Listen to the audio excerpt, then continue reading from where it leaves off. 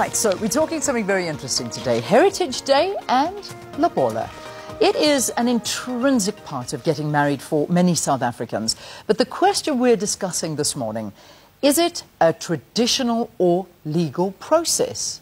There's an interesting one. Here to take us forward on this conversation, we've got John Manyike, who's the head of financial education at Old Mutual. John, it is so good to see you, and you look amazing. Thank you, and uh, it's always uh, great to come here. Yeah, thanks for, for dressing and embracing your heritage. I, we were joking off air and saying, I'm sure your colleagues are looking and saying, John, is that is that really you? Yeah, no, no. Maybe they think it's my twin brother. no, you should dress like that all the time. You should do it all the time. Yeah. Okay, so let's talk Lobola and let's talk the law. Yes. Um, are they intertwined with one another? Yes, they are. Uh, I, I, think it's very important for people to understand that Lobola itself is not marriage. It is part of a traditional and legal process of getting married. Um, the, the, the, law that governs customary uh, marriage is called the Recognition of Customary Marriages Act. And it actually stipulates what needs to happen. So, in other words, for a customary marriage to actually be concluded or to be legal or to be valid, the, the couples must have, firstly, they must have concluded lobola negotiations. It must be a, a marriage between um, prospective spouses above 18, but more importantly, they must have celebrated uh, that customary marriage in accordance with uh, the customs. Okay. You know, so in South Africa we have different ethnic groups. So you must celebrate according to the customs and the rituals that are performed by your relevant um, ethnic group. And until that moment, it is not legal. Yeah. So you've got to, there's the lobola mm. and then the celebrations. 100%. So, so the celebration um, could, could be done differently depending on, on, you know, given the diversity of cultures that we have.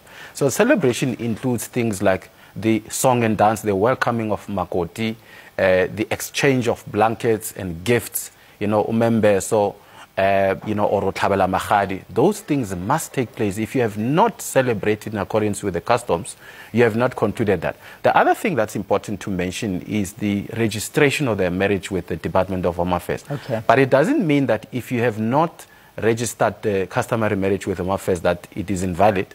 However, uh, it, it is essential because it will help you in the future, you know, to solve many challenges that may present themselves. But remember, a marriage um, talks to your property rights. It talks to your, your, your access to your, the joint estate of that particular marriage. So if you don't have a legal document or contract, you find it very difficult to, to enforce your legal rights. So, so that's, that's a, it's, a, it's, a, it's an important aspect to remember in all of this. So, I mean, you may go through the lobola, you may go through the, mm. the, the, ceremony and all the traditions, but if you do not write this and register your marriage mm. with Home Affairs, mm. it may not actually be recognized by the state. Yeah, so and that's where the problem comes in. Yeah, look, there are instances where couples have not necessarily registered their customary marriage with Home Affairs, but as I said, it does not render it invalid. Uh, but it does help you when you've got a, a legal contract, a document from Home Affairs that you know has solemnized your marriage, um, because if because that is one thing that you can be able to use to prove that you are you are married. Yeah. But but the, the, biggest challenge here is that many couples would, would pay lobola and they will, they will take a long break, you know, because there's an assumption that the biggest part of the, the marriage has been concluded by simply paying lobola but uh, and then neglecting to, to actually celebrate. And you know, and it's very important to ensure that your marriage is built on a solid foundation. Because if the foundation of your marriage is not solid, legally speaking, that's where you have issues. For example, if your partner decides to leave you yeah. because they've met someone who's slimmer, younger, you have serious problems. How are you going to enforce your rights? Or in the event of a death of your spouse, you know, how do you uh, have yourself recognized as a surviving spouse? Unless you have concluded the marriage legally. All right. Now, I want to talk about something that mm. set social media abuzz recently, yes. and that was, I think it was on, on, a, on a drama series on Mzansi Magic, or was called uh, The Queen, mm. or, or, yeah, where they were talking about getting a refund for Lobola. okay. Now, everybody asking the question, yeah. can you get a refund?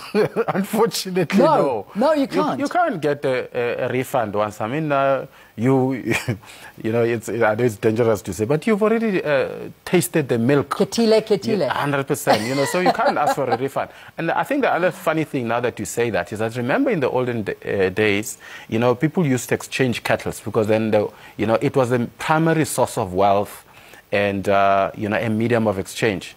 Now, these days, people don't bring cattle when there's lobola negotiation. People live in suburbs, they live in townships, you know, but they, there is a cash equivalent of a cattle, you know. And I won't be surprised, Leanne, in future if, uh, you know, our young ones are going to pay lobola via EFT. Wow. You know, because, because That's how we move society evolves. Because what is important is the principle of exchanging uh, the, the, you know, gifts and the bride price. Yeah. So, so tradition and legality are. It's, it's a very difficult thing to mix. It really is because you'd think that okay, you're getting divorced, you want mm. to you want to get that back. But then again, I'm going to bring it back to simplicity and saying, you know, mm. when I got engaged, my husband came and gave me mm. an engagement ring. Yes. Now, you know, if we break off our marriage, do I give him back his ring, the ring? I mean, he's not entitled to it. So, you know, I can keep it, I suppose, and maybe it works in the same way. Yeah. But but mixing tradition and the law. Yeah. Where are we with that? Because you know, inherently, the law and and tradition. I mean, we celebrate Heritage Day, and yet, do we celebrate it enough in principle, on paper, when it comes to saying, you know, this is what happens? But then, of course, you go to a court of law, and they don't really recognise it. Well, look, the, the lawmakers uh, recognize the, the wealth and of our heritage. Um, and so when they were defining uh, this particular piece of law, which is the Recognition of Customary uh, Marriages Act, so they took into account those customs. That's why uh, it states very clearly, Section 3 of that act states clearly that you must have concluded lobola and you, you, it must be celebrated in accordance to your custom. Because the lawmakers were, were ensuring that we, we harness and embrace this heritage um, that we have. So that's why it's important to, yes, re, you know, follow through with the tradition because it was not tradition to just pay lobola and, and, and end things there. The tradition required that you actually transfer the bride, incorporate the bride, welcome the bride, exchange gifts, and celebrate because that how, that's how it was done. So if you have not done that and you've just concluded lobola, it, it means technically you have the same status as, as cohabiting partners. Yeah, yeah. Hmm. You know, uh, so, uh, uh, one of my producers asking me a question. You mentioned hmm. that it may go to a point where we actually do an EFT for Lobola. I mean, I, you joke about it, but hmm. you know, there's no joke in that. That may Yeah. very well be what will happen. But now you have proof of payment. There, you've got a, a you've got an actual sum of money that Yes. has a value to it. Yes. I mean, surely you can argue this one now. No, 100%. I mean, uh, again, uh, you know, people sometimes ask, uh, but, but how do you prove that you've celebrated? I mean, it's simple. I mean, when there's celebration, you take pictures, you post on Instagram, on Facebook. Those pictures, uh, you know, they are evidence, you Yeah. know, that actually there has been a, a celebration. And then if there's any dispute and you, and, um, and, and you present that as evidence, the courts would certainly look at those things. And of course, there are witnesses and people who were part of, of that particular celebration. Yeah. Look, I mean, let's let's sort of maybe put put the, the, the heritage side of things uh, to one side and talk about the fact that as as men and, and women enter into sort of a marriage, I mean, it is important that you sort of you go and sign contracts, whether Yes. it be uh, in community of property or anti-nuptial contract, especially if you own your own assets like property before marriage. What do you recommend is the best route to go? Well, in this country, there are three laws in which marriages can be formed. So, one is the uh, Marriages Act of 1961, and then there's a Civil Unions Act, and then there's a, the Recognition of Customary uh, Marriages Act. But there's also uh, matrimonial pro- property st- systems where you can be married in community property and out of commu- uh, community property. I must hasten to add as well that uh, customary marriage amounts to in community property. So in a property system where you decide to separate the assets, where you're saying, know, let's get married, but we want to separate assets. So you can marry uh, with an antenuptial contract without accrual. That means your debts and you, rather your assets and liabilities belong to you, uh, and you and you alone. But if we're saying in community property, it means it's a joint estate and we share. And these things are important because these days, when you marry someone, and, and say you're marrying someone who's over indebted, they come with a 5 million debt, Yeah. and you decide to marry an in community property, it means you now own half of that debt, as much as you would have owned half of the assets if the person was wealthy.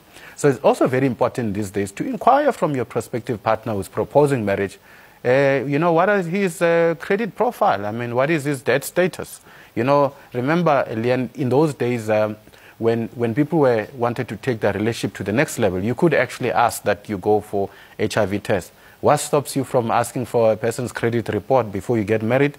So you decide, are you marrying in community property or out of community property? Of course, there are other things that you need to take into account. Do you have children and other things, you know, um, that needs to be taken into account Yeah. to ensure that there's no crisis or confusion uh, in the event of death. Yeah. Absolutely. Marriage is a wonderful thing, but it is, at the end of the day, sometimes, besides the love, it is a business transaction. And you've got to look at it that way sometimes, because this is for life, and this is your livelihood as well that you've got to look after. Thank you for talking to us, and uh, some of the valuable information. We've had a wonderful, wonderful response from Twitter, so good to see you uh, watching the program, and also I'll try and read some of them to you. John Manyike is the head of financial education at Old Mutual, talking about the legal rights of customary or traditional marriages, such as lobola negotiation. Can you get a refund?